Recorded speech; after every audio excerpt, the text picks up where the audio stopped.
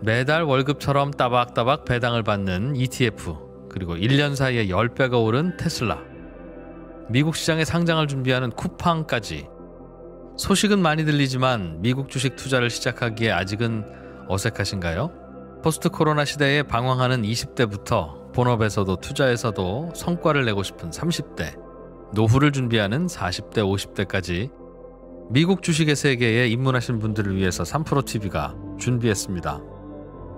3프로TV 주식대학 봄학기. 미국 주식에 미치다 장우석과 이항영의 미국 주식 완전 정복. 미국 시장의 제도, 특징, 세금부터 기업의 가치 분석, 포트폴리오, 유망 종목까지. 장우석 본부장, 이항영 대표와 함께 한 발자국씩 나아가면서 평생 투자의 기초를 탄탄하게 다지는 시간이 될 겁니다. 3프로TV가 미주미 미국 주식 완전 정보 클래스와 함께 여러분의 성공 투자를 응원합니다. 영상 아래 링크를 통해서 강의를 신청하실 수 있습니다. 잠시 저희 방송 중에 약간의 저 아, 노이즈가 좀 있는 것 같습니다. 아, 지금 빠른 시간 안에 다시 복구해서 여러분께 아, 전해드리도록 할 거고요. 미중 산업경제연구소의 조용찬 소장님 자리해 주셨습니다. 대단히 반갑습니다. 예, 안녕하십니까. 오랜만입니다. 네, 오랜만에 뵙습니다. 예. 왜 이렇게 오랜만에 오신 거예요? 어, 빨리 자주 불러주셨으면 아, 좋겠는데. 제가 연락을 못 드렸나요? 예. 네, 아 너무 죄송합니다. 아, 사실 요즘 뭐 중국 시장이 워낙 핫했었지 않습니까? 핫하게 가다가 최근에 어, 조금 막그 부진한 모습들이 계속 나와서 이거 걱정하시는 분들 굉장히 많은데 이 부분도 한번 좀 여쭤봐야 될 것 같고 그 다음에 역시 뭐 중국 하면 지금 제일 큰 이벤트라고 할 수 있는 양회가 또 기다리고 있지 않습니까? 그래서 그 관련된 질문도 어, 우리 소장님께 좀 여쭤보도록 하겠습니다. 자 그러면 어, 첫 번째로 먼저 그 양회 양회는 뭐 대략적으로 이제 워낙 한두 번 저희와 함께 해주셔서 설명을 주셔서 뭐 전인대 그다음에 그 정협이라고 그러죠. 예, 그 두 개가 이제 양회인 거 정도만 알고 있는데 그 두 개가 도대체 무슨 성격인지 간단하게 좀 소개해 주시면 좋겠습니다. 네, 전인대라는 것은 이번 토요일 날 개막이 되는데요. 네. 우리나라 국회와 같습니다. 네. 어, 예산안도 심의하고 의결하고요. 음. 어, 법률과 관련된 것도 제정을 하게 되기 음. 때문에 중국으로서는 그 중국 최고의 권력 기관입니다. 네. 어, 반면에 정협이라는 것은 아무래도 그 자문 기구 형태고 네. 아, 그 좀 선정 기관 성격이 어, 크, 크고 또 실질적인 아, 어떤 그 행사를 어, 주관하는 그 주체는 되지는 못하는 것으로 보여집니다. 네. 이제 이번 그 전인대 정협과 관련한 양해가 벌어지면서 중국 같은 경우는 아직 코로나에서 완전히 벗어나지 못했는데요. 네. 이 때문에 한 60만 명의 아, 인력들이 베이징을 3, 4선으로 그냥 꽁꽁 둘러매고 있다고 합니다. 네. 그래서 현재 시내 중심가뿐만 아니라 네. 아, 전인대가 열리는 인민대회당 같은 경우에는 음. 개미 한 마리도 그친 못할 정도 로 지금 아. 상당히 그 심해지고 있고요. 네네. 특히 내년에는 아, 시진핑 3기가 시작되기 때문에 네. 이번 전인대에 오는 5천 명 대표들 네. 그리고 당 관계자들 정부 기관들이 어, 오로지 충성 서약만 지금 하는 그런 분위기라고 합니다. 음, 충성 서약.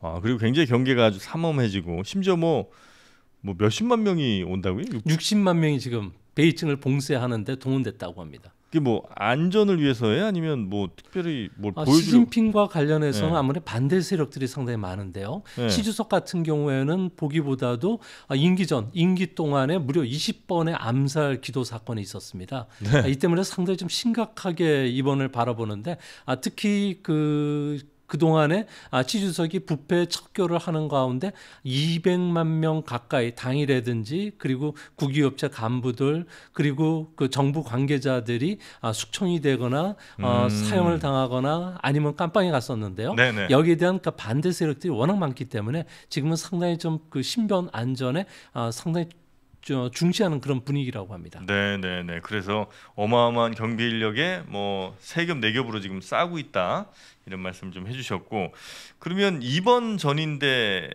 이게 이제 토요일 날 개막합니까? 아니요 오늘부터 시작을 했고요. 오늘부터 시작이에요? 예, 정협이 먼저 시작을 했고요. 네. 그리고 임기는 아 저기 보통 그 기간은 10일 정도인데 네. 이번은 코로나로 인해서 한 7일 정도로 단축이 된다고 합니다. 음. 뭐 전인데도 아, 토요일 날 시작을 하기 때문에 다음 주 토요일 날이면 끝날 것으로 보여집니다. 아 그렇습니까? 그럼 이번 전인대나 정협에서 가장 주요하게 다뤄질 경제 관련된 주요하게 다뤄질 이슈가 어떤 거라고 좀 보면 될까요? 딱 세 가지인데요. 네. 그 리커창 총리가 어, 업무 보고를 하게 됩니다. 네. 이 업무 보고하는 가운데 GDP 성장률 목표가 발표되느냐 안 발표되느냐 가 중요한데요. 음. 이번에는 아마 코로나 문제라든지 아, 네. 미중 간의 갈등 때문에 GDP 성장률은 발표되지는 않을 것으로 보여집니다. 음. 아, 또 한 가지는 앞으로 어, 중국이 어떻게 먹고 살아야 되는지를 보여주는 14차 5개년 경제 계획과 관련된 안이 여기서 발표가 되고요. 네. 또한 가지는 1인당 GDP를 선진국 수준으로 끌어올리는 2035년까지 아, 초장기 그 계획안이 발표가 됩니다. 네. 이 때문에 그 전인대와 관련해서는 정 치나 경제 문제와 관련해서 전 세계가 두 가지를 주목하고 있는데요. 네. 어, 첫째는 2035년까지 음. 아, 미국을 제치고 G1 국가로 올라서겠다는 겁니다. 2035년이요? 예. 아, 이렇게 됐을 경우에는 네. 지주석 같은 경우에는 자신의 임기가 이제 내년부터 상기가 시작이 되는데요. 네. 2035년도면은 10년이 넘고 15년 정도가 되니까 네. 임기 5년까지 자신이 집권하겠다는 이야기가 됩니다. 예? 몇 년 동안이요? 그러니까 그 25년간을 집권할 그 계획안을 갖고 있기 때문에 20 앞으로요? 예, 앞으로. 그러니까 보통 그 임기는 두 번에 그치기로 되어 있는데 네, 네, 이런 네. 관례를 무시하고 네. 이제 3기, 4기, 5기까지도 들어갈 수 있는데요. 모든 정책의 그 초점이 2035년도에 맞춰지느냐 아니면 2030년도에 미국을 뛰어넘는 경제 규모가 되느냐 아니면 어느 쪽에 포커스가 맞춰주느냐에 따라서 임기가 어. 결정이 될 것으로 보여지고요. 네. 오늘 중국 증시가 하락한 이유도 네. 여기에 있는데요. 새로운 성장 동력이라고 하는 게 어, 디지털화, 그 그린화였는데 네, 네. 어, 중국 같은 경우는 2035년까지 신차 판매 절반을 신에너지 자동차로 하겠다고 전기차 같은 거? 아니 전기차가 아니라 네. 신에너지 자동차입니다. 뭐예요? 여기는 전기 자동차, 하이브리드 자동차, 수소 자동차가 아, 포함이 되는데요. 어, 중국 같은 경우는 2020년도에 신차 판매가 2,531만 대로다가 어, 3년 연속 감소를 했는데요. 네. 반면에 신에너지 자동차 같은 경우에는 137만 대로 10% 증가했습니다. 우리나라가 작년에 자동차 어, 전체 신차 판매가 165만 대니까 이 정도 네네. 수준이 되는데 네. 이제는 상해나 베이징 같이 큰 도시들 같은 경우는 아, 우대 정책을 통해서 한 40% 올해는 신에너지 자동차가 판매가 증가를 한다고 합니다. 근데 음. 문제는 이렇게 하면 주가가 올라가야 되는데. 왜 못 올라가는 거 아니? 뭐 주행 거리도 비약적으로 늘어난 배터리도 개발시키고 네. 또한 충전 시간도 단축시키고 충전소도 확대시켜 주는데 네. 음. 차량 가격을 떨어뜨리겠다는 겁니다. 그러니까 기업들 입장에서는 박리 다매로 해서 돈을 먹고 당이나 이런 그 국가에서는 충전소 그리고 어, 전력과 관련해서 싸게 공급을 해가지고 네. 아, 이걸 통해 가지고 이익을 보겠다고 하니까 시장에서는 놀랬던 것으로 보여지고요. 음. 네. 또한 인구 1천만 도시를 대상으로 해서 택시나 그리고 공 버스와 같이 공공 자동차와 관련해서는 음. 앞으로 100% 전기 자동차를 시키겠다는 겁니다. 네. 이 때문에 CATL과 같이 세계 최대의 배터리 회사 같은 경우는 좀 어, 상당히 순항을 할 것으로 봤는데 음. 이제 문제는 원료라든지 첨단 소재와 관련해서도 세계 최고를 지향하지만 이를 육성하기 위해서는 미국 실리콘밸리식의 성장 모델을 안 쓰겠다는 거죠. 음. 소위 말해서 역량처럼 크게 높이 튈 수 있는 네. 그 기업 그러니까 유니콘 기업들처럼 승자 독식을 하면은 주가도 좋아지고 투자가들 음. 돈을 버는데 대신 시진핑 국가 주석이 구상하는 새로운 그 어, 신에너지 자동차와 관련해서는 얼룩말 기업을 육성하겠다는 겁니다. 얼룩말 기업이 뭐예요? 예, 얼룩말이라는 것은 이익을 우선하지 않고 네. 어, 지속 가능한 성장을 통해서 더 나은 사회를 만들어 내겠다는 거죠. 우리가 이야기하는 ESG 투자가 해당이 되는데 네. 어, 중국에서 이거를 하겠다는 이유는 아무래도 지주석이 자신이 기치를 들고 나가면은 네. 너희들은 군말 말고 나처럼 따라오고 내가 험한 길을 걸면 너희들도 와서 그냥 그 강물에 들어가서 어, 죽을 놈 죽겠지만 살 수 있는 기업은 계속 나랑 같이 가자는 이야기거든요. 음. 그 대신 이익은 이전보다는 못 하겠다는 거죠. 네. 그래서 투자가들이 좀 놀랬던 것으로 보여지고요. 어. 또한 가지는 대만과 관련해서 새로운 프로젝트들이 이번에 발표가 됩니다. 아, 베이징을 출발한 고속 열차가 아, 대만 타이페이까지 해저 터널을 통해서 어, 열차뿐만 아니라 아, 고속 철도 아, 그리 고 아, 그 고속도로 그리고 전기나 통신 설비까지 깔아주고 네. 이- 이거를 그 타이페이에서 받아들인다면은 음. 아무래도 디지털 위안화를 쓸 수 있게끔 시장 접근을 허용하겠다는 거고요. 네, 네. 또한 가지는 가장 놀랬던 게 홍콩의 선거 제도를 개혁시키겠다는 겁니다. 네. 홍콩의 완전한 그 통치를 위해서 아, 민주파를 제거시키고 공산당에 충성하는 애국자들만이 선거에 나서게 할 수 있는 이런 법률이 음. 이번에 집행이 되는데요.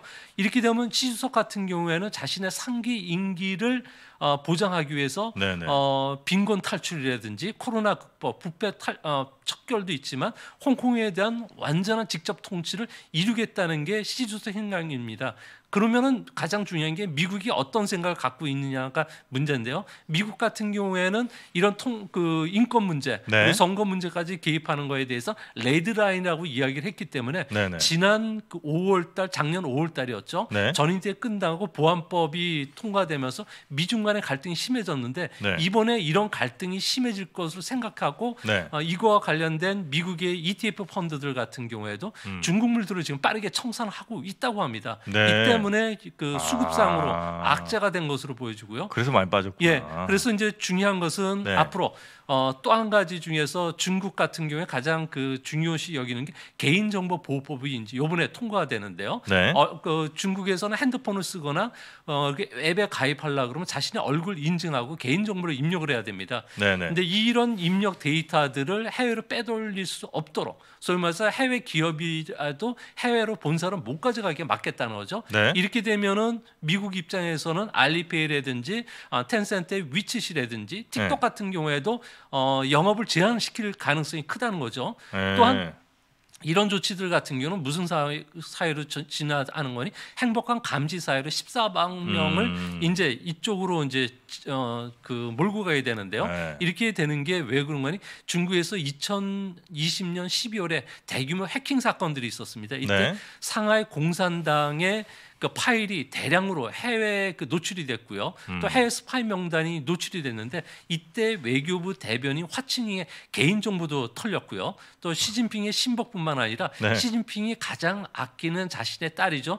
어, 시밍쩌의 아. 개인 정보가 그냥 유출이 됐습니다. 그 사진 나왔더라고요. 예, 얼굴 사진이 아니라 아이디 카드 번호도 있고요. 주소, 어. 여권 번호, 홍콩, 마카오 그 통행권 번호, 또 휴대전화 번호까지 그냥 다 털렸다는 거죠. 네, 네, 네. 세계적인 망신을 당했기 때문에 네. 이거와 관련된 보호 조치가 나올 것으로 보여진다는 점에서 음. 앞으로 미중 간의 갈등을 상당히 중국 투자가들이 우려했던 것으로 보여집니다. 아, 그래서 중국 주식이 많이 좀 특히 홍콩도 엄청 많이 빠진 것 같은데 그런 배경도 좀 있겠다는 생각이 좀 들고요.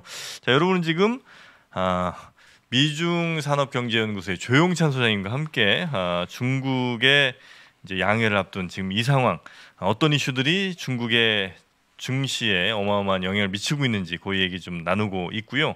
자 그럼 계속해서 음, 말씀해주신 대로 결국은 또 다시 미국과 이제 갈등 혹은 뭐 싸움이 이어지는 것 같은데 어쨌든 중국은 자국의 산업을 이제 막 보호를 해야 될 거 아닙니까? 그러면서 어, 앞으로 나갈 방향들의 어떤 밑그림 같은 걸 그릴 텐데 그 그림들이 예측되는 방향이 좀 있는 거죠. 네 그렇습니다. 이제 가장 중요한 게 오늘 이제 여기 터진 사건인데요. 바이든이 중국을 유일한 경쟁자로 못 봤고요. 아, 동맹국과 함께 중국에 대해서 이제 아, 규제에 들어가거나 압박에 들어갈 가능성이 큰데요. 이렇게 되면 앞으로 아, 중국과 갈, 중국이 미국과 관련해서 전선이 무역이라든지 네. 기술 전쟁이 아니라 일곱 개 전선으로 확대가 된다는 거죠. 음. 아, 금융, 아, 그리고 어, 또 코로나와 관련된 전염병 문제, 네. 아, 그리고 뭐 여러 가지 다, 아, 다양한 그 에너지 문제라든지, 아, 그리고 그 그 그 일곱 개 전선으로 확대가 되는데 네. 이제 이거와 관련해서 중국 같은 경우에는 앞으로 어, 탈 아메리카 정책을 쓰겠다는 거죠. 네. 지원 국가를 지향하는 중국 입장에서는 앞으로 미국과의 갈등이 심해지니까 이제 쌍순환 전략을 2035년까지 중국의 주요 성장 모멘텀으로 가져가겠다는 겁니다. 소위 말해서 아, 내수를 기반으로 해서 네. 어, 성장을 시키겠다는 거고요. 이 네. 성장 방식에는 아무래도 어, 중국 같은 경우에는 어, 자체적인 그 공급망을 이제 확보시키는 전략을 쓰기 때문에 앞으로 중국 같은 경우는 AI라든지 반도체와 네. 관련된 어, 핵심 7개 산업과 관련해서는 어, 중국이 5년간에 걸쳐서 1,700억 어, 조 원을 투자를 해가지고 네. 자체 공급망을 확보시키겠다는 거죠. 여기에는 뭐 반도체 육성이라든지 이런 정책이 이제 포함이 되는데 미국 같은 경우에는 이거와 관련해서 동맹국과 함께 어, 반도체뿐만 아니라 히토리오도 어, 중국에 의존하지 않는 체제로 가기 때문에 네. 앞으로 어, 미중 간의 갈등 문제는 어, 성장 방식 그 차이 문제뿐만 아니라 네. 어, 다양한 그, 그 중국의 어, 음. 그 굴기 때문에 네. 앞으로 충돌하는 문제들이 상당히 좀 커지지 않을까 보여집니다. 탈미국 해서 가능합니까? 탈미국을 한다는 게 결국 이제 어, 내수 살리고 그다음에 뭐 첨단 기술 자기들이 이제 직접 한번 해보겠다 이런 거 아니겠습니까? 근데 그게 어 일단 수출 미국 향한 수출을 예를 들어 좀 줄인다고 하면 거의 뭐 중국 경제가 그렇게 2035년에 지원으로 올라갈 도저히 방도가 없을 것 같은 느낌이 그냥 아주 느낌적인 느낌으로 있고 또 최첨단 테크들은 다 여전히 그 미국에 기반을 둔 회사들일 거 아니에요. 근데 그거를 안 하고 2035년 넘버원 국가가 될 수 있어요? 네, 중국이 미국과 가장 다른 점은 자신의 네. 동맹국이 없다는 겁니다. 아, 이 때문에 중국 같은 경우에는 일대일로를 통해서 아, 새로운 그 디지털 일대일로를 한다든지 건강 일대일로를 통해서 아, 이들 지역의 영향력을 확대시키고요. 네. 궁극적으로는 디지털 위엔할 발행을 통해서 네. 아, 이들 지역권까지 중화권으로 묶겠다는 생각입니다. 이뿐만 아니라 이제 미국과의 외교 관계와 관련해서는 아무래도 음. 계속 아, 경쟁 관계로 가야 되고요. 네. 특히 내년도에는 중국 그 주주총회라고 할 수 있는 음. 아, 당 공산당 당대회가 열리게 됩니다. 네네. 여기서 시진핑의 임기가 아, 이, 이, 어, 연장이 확정이 되기 때문에. 아, 미국과의 그 강대강 외교 노선은 지금 피할 수는 없는 상황이고요. 네. 이 때문에 미국 경제 속에서도 아, 반도체라든지 네. 아, AI 그리고 산업과 관련된 그 사물 인터넷이라든지 음. 아, 빅데이터 문제 이런 것들과 관련해서 독자적인 그 생태계를 구축하지 않으면 자신이 어, 생존할 수가 없기 때문에 이 네. 부분과 관련해서는 상당히 좀 강하게 지금 밀 가능성이 크고요. 또 국내 자원과 소비를 활용한 새로운 발전 모델을 통해서 하는데 혁신을 추구한다는데 미국의 이런 기술이라든지 생산성 없이 이게 혁신이 불가능하고요. 또 음. 중국 같은 경우에는 아, 인구가 이 현재 매년 0.5%씩 감소를 하고 있기 때문에 네. 이런 그 생산성 감소에 인구 감소까지 진행되고 있는 상황에서는 음. 중국 입장에서 는 자신들이 갈 수 있는 길은 어, 현재 상황으로는 제한적이고 네. 앞으로 어, 자신의 그 독자적인 그 새로운 어, 비즈니스 모델들 그러니까 디지털 위에나 그리고 실크로드와 관련된 아, 새로운 일대일로 사업들이 이제 전개되면서 아, 미중 간의 갈등 문제는 좀 더 치열해지지 않을까 이렇게 보여집니다. 쉽지 않은 것 같긴 한데 그럼 올해 중국 경제 관련해서 혹시 주의를 왜냐면 이제 투자를 이제 결정하시거나 아니면 이렇게 잘 살펴보시는 분들이 이런 이런 점들은 반드시 좀 주의를 해야 된다 이런 게 있을 거 아닙니까 리스크라든지 뭐 여러 가지 것들 어떤 걸 좀 우리가 주의를 좀 해야 됩니까? 네, 중국 같은 경우에는 가장 중요한 게 현재 그 자금난에 봉착한 기업들이 상당히 많은데요. 자금난에 봉착한 예, 기업들 중국 같은 경우는 그 현재 그 올해 네. 어, 기업 그다음에 개인, 아, 정부의 그 부채가 무려 놀라지 마십시오. 5경 7천조 원 정도가 된다고 합니다. 오경이요? 예, 그러니까 GDP 대비해서 무려 330% 되는데요. 중국이요? 예, 그러니까 일본이 버블이 터졌던 1991년도에 네. 어, GDP 대비해서 부채 비율이 210%였습니다. 예. 상당히 지금 많은 상태거든요. 그러니까 중국 정부 입장에서는 이런 어, 구조 조정을 하거나 어, 부채를 축소시키지 않는 기업일 경우에는 국유 기업이라도 경영진을 교체하고 그래도 안 된다면은 아, 네. 부도까지 낼 수 있다는 거죠. 아 오경 맞습니까? 네, 그 지금 5경 이- 듣- 7천조 원 정도가 듣는 됩니다. 분들이 도저히 믿질 못하셔 갖고 그러니까 나라가 크니까 규모도 상당히 큰데요. 그래서 이제 문제는 앞으로도 이런 와. 그 어, 문제가 있고 그 다음에 중요한 거는 중국과 관련해서는 네. 현재 보이는 손인 중국 정부가 수요와 공급을 같이 창출해주고 있습니다. 네. 그러니까 자동차와 관련해서는 3천 위엔 보조금을 준다든지 네. 자동차 구입 시 3%에 대한 그 세금 공제를 해주는 이런 정책을 쓰는데 3월 달이면 다 종료가 된다는 거죠. 지금 지금 3월이요? 예, 올해 3월이면은 종료가 되는데 이렇게 되면 중국의 자동차 판매가 감소한과 동시에 반도체와 관련된 그 구입이 상당히 어려워지면서 음. 자동차 산업을 중심으로 해서 전자 산업들까지 영향을 좀 받지 않을까 보여집니다. 네, 이 네. 때문에 연쇄 디폴트 문제 그리고 현재 중국이 갖고 있는 가장 큰 문제 중에 하나가 아, 부동산 버블이 상당히 심각하다는 겁니다. 아, 중국이요? 예, 중국 같은 경우는 돈 먹는 3대 기계가 있다고 하는데요. 네. 그러니까 소위 말해서 그 가정의 입장에서 보면은 뭐 교육비 그리고 음, 의료비 음. 그리고 주택과 관련된 그 지출이 너무 많다는 겁니다. 아, 중국도 그렇군요. 예, 그래서 네. 중국은 우리보다 더 심각한 상황인데요. 네. 이 때문에 부동산 법으로 경고하면서 주식 어, 부동산 투자를 하지 말고 주식으로 지금 가라고 요구를 하고 있는데 네. 사람들이 그렇게 딸지 않는다는 거죠. 그래서 아. 아, 인민은행의 그 부행장이라든지 네. 그리고 그 경제 그 담당 어, 장관이 직접 나와서 부동산 법을 경고를 할 정도가 네. 되고 있는데 그렇기 때문에 지금 현재 부동산 투자와 관련해서 중국인들조차도 이혼을 하고서 이혼하면은 한 집을 다른 사람이 살 수가 있거든요. 그래서 음. 그런 식까지 지금 부동산 버블이 커지고 있기 때문에 아. 이런 것이 터졌을 경우에는 네. 세계 경제에 악영향을 미칠 가능성이 크다고 보여집니다. 아, 그런 것들은 우리가 반드시 좀 주의를 해야 된다 이 말씀을 좀 주셨고 아 근데 부동산 뭐 우리나라도 굉장히 지금 뭐 부동산 너무 많이 올랐다는 얘기를 하는, 하는 데 중국이 우리보다 더 심한 상태군요 그 지금 관련 중국 같은 경우에는 일선, 이선 도시는 이미 그 서민들 같은 경우에는 아, 잡을 수 없는 수준이고요. 그, 그 일선 이선이라고 한다면 뭐 중국이나 베이징의 아주 핵심 그 예, 그게 일선이고요. 일선이고 각성그 31개 네. 성시의 그, 그 성도죠. 네. 아, 여기가 이제 이선이고 음. 그리고 이런 성도 중에서 이제 주변, 중형급 주변, 예. 도시가 3선이고 네. 그다음에 4선, 5선으로 내려가는데 네. 이제는 3, 4선 도시까지도 그냥 기본적으로 2, 30억짜리 집들이 그냥 아, 2, 흔하게 30 우리나라 돈으로 예, 그렇습니다. 와 그렇게 비싸요? 예, 그 중국 전체적으로 그, 그 동안에 경기 부양을 해서 저기 풀린 돈들이 네. 어, 그 주시장으로 오지 않고 거의 다 부동산 시장으로 갔고요. 또 이런 부동산 시장을 통해서 부자들이 되고 그리고 어, 지방 정부 같은 경우는 부동산을 좀 부추겨서 네. 어, 토지 가격을 좀더 어, 비싼 가격에 팔고 어, 아. 그런 식으로 성장을 해왔기 때문에 아. 이런 그 버블이 상당히 심각한 상황이라고 합니다. 아 그래서 중국의 큰 손들이 우리나라 와서 또 부동산도 많이 사고 뭐 이런 거기서 이제 돈 벌고 중국이 또 워낙 비싸니까 이렇게 우리나라까지 와서 서울에서도 부동산 사고 뭐 이러는 거군요. 그래서 뭐 부동산 불패 신화는 뭐 전 세계적으로 어디나 다 같지만 네. 중국 같은 경우에는 상당히 좀 심각한 상황이고요. 음. 또한 중국에서는 그 젊은 그 그 남자들이 네. 결혼하기 위해서는 어 기본적으로 세 가지 그 함을 가져가야 되는데 네. 첫 번째로는 현금 카드 그리고 두 번째로는 아, 집과 관련된 것들 네. 그리고 하나는 또 보석함을 가져가고 자동차도 갖고 가야 되는데 음. 집이 없으면은 결혼할 수가 없으니 어, 부모들이 이혼을 해서라도 두 채를 갖고 그 중에 하나는 자식에게 준다고 합니다. 아, 그 정도로 심하군요. 그 지금 뭐 여쭤볼 게 사실 지금 너무 많은데 뭐 이게 저희가 시간이 이렇게 많지 않으니까 짧게 한 한두 개 정도만 더 여쭤보겠습니다. 그러면 그 아까 말씀 주신 것 중에 히토류 이거 이제 수출 제한 카드를 꺼낼 수 있다 이런 얘기들이 지금 나오고 있잖아요. 근데 이게 실제로 가능한 건지 아니면 말만 그렇게 던져놓는 건지.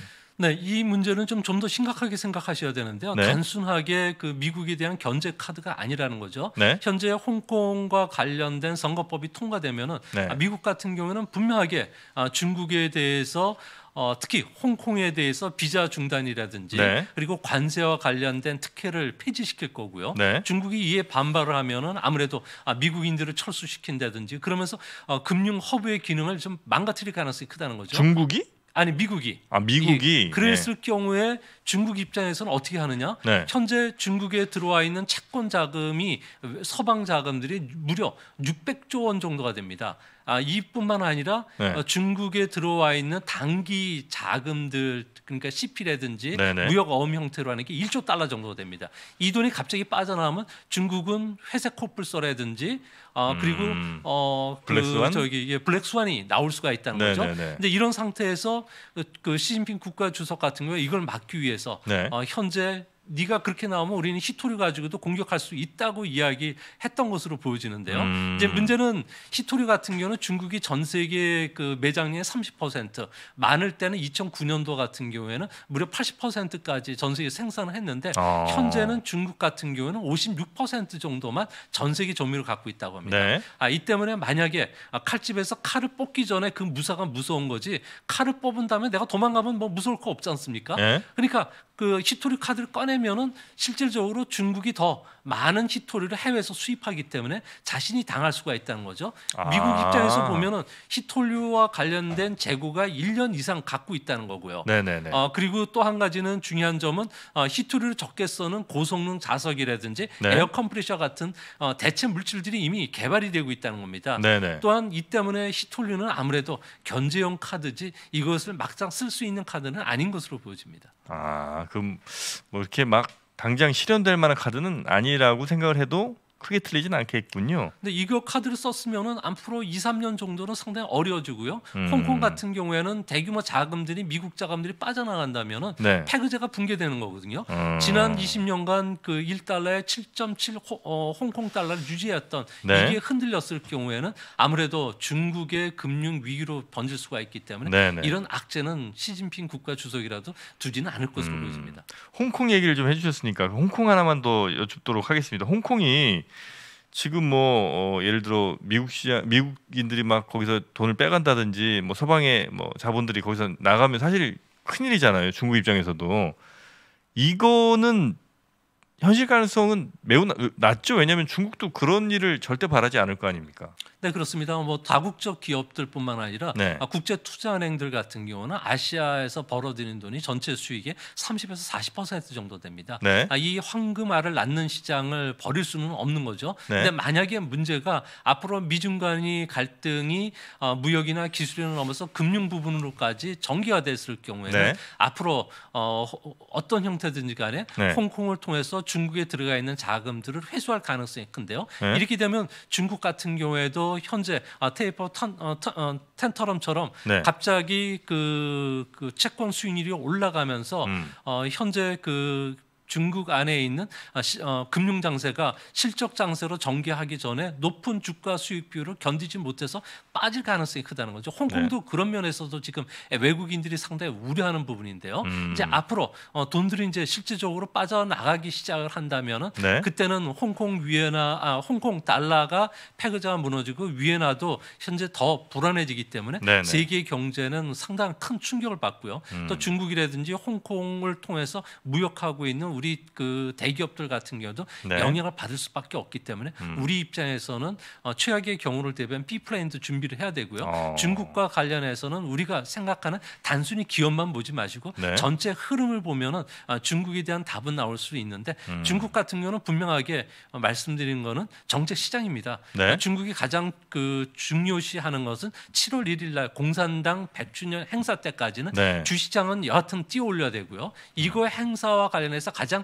신호탄은 5월 달 정도에 그 중국이 요번에 화상 탐사 로봇 아 저기 그 위성을 발사했는데 네네네. 이게 어, 화성에 그 안착하는 시점이 지금 화성 주위를 돌고 있는데 네네. 5월 달 정도가 된다고 합니다. 네. 5월 말 정도 될 거로 보여지는데 그렇게 되면은 이때서부터 서서히 중국 증시는 올라가고 이런 흐름 속에서 본다면은 현재 중국은 주가 조정은 좀 자연스러운 조정으로 보여질 수도 있지 않나 이렇게 보여집니다. 음, 자 지금 뭐 아, AI 아니냐. 아, 그리고 어, 중국 문제 관련해서 뭐 도깨비 방망이 같다. 이렇게 어, 소장님에 대한 아, 찬탄의 목소리들. 막 지금 뭐 난리 났습니다. 예, 그래서 우리 소장님이 특히 지금 이제 글로벌 투자하신 분들이 이 시간대 많이 이제 들으시기 때문에 어, 아무래도 이 시간대 조금 그, 좀 많이 피곤하신 상황이 아니라면 자주 좀 나와주셔야 될 것 같은 왜냐하면 지금 너무 아직 못한 얘기들이 저희가 좀 많거든요. 그래서 센터 예, 저 소장님께서 좀 시간이 허락이 된다면 좀 자주 좀 연락드려서 모셔도 괜찮으시겠습니까? 네, 저도 좀 반갑고요. 오늘 네. 저기 미스트로 결승전을 안 보시고 2%를 보시는 아, 시청자 여러분께 진심으로 다시 한번 감사 말씀드리겠습니다. 네네. 아 좋습니다. 그러면 아, 저희가 뭐 요일을 정해놓고 하든 아니면 어, 하여튼 일주일 한 번 이상은 좀 뵈야 될 것 같습니다. 지금 중국 문제가 아무리 봐도 심상치가 않은 것 같아서 저희가 그냥 뭐 한 번 이렇게 두 번 이렇게 그냥 얘기 듣고 이렇게 넘어가서는 안 될 것 같은 생각이 좀 들어서 좀 정기적으로 매주 이렇게 좀 모시고 이야기를 좀 들어야겠다는 생각이 아, 갑자기 더 크게 듭니다. 우리 오늘 함께 해주신 어, 미중 산업경제연구소의 조용찬 소장님 아, 정말 막힘없는 술술술 해설 다시 한번 감사 말씀드리고요. 아, 다음 주에 좀 뵙겠습니다. 고맙습니다. 예, 감사합니다. 네. 무엇부터 공부해야 될지, 어떤 자료와 정보를 봐야 되는지 아직도 헷갈리시나요? 포스트 코로나 시대에 방황하는 20대부터 본업에서도 투자에서도 성과를 내고 싶은 30대, 노후를 준비하는 40대, 50대까지 주식 투자의 세계에 입문하신 분들을 위해서 3프로TV가 준비했습니다. 3프로TV 주식대학 봄학기 초보 투자자들의 멘토 연블리의 친절한 주식 기초 교육 어떤 기업이 돈을 잘 벌고 있는지 확인하는 법부터 증권사 리포트, 기술적 분석을 통해서 수익을 내는 법까지 염블리, 염승원 부장과 함께 한 발자국씩 나아가면서 평생 투자의 기초를 탄탄하게 다지는 시간이 될 겁니다. 3프로TV가 염블리의 친절한 주식 기초 교육과 함께 여러분의 성공 투자를 응원하겠습니다. 영상 아래 링크를 통해서 강의를 신청하실 수 있습니다.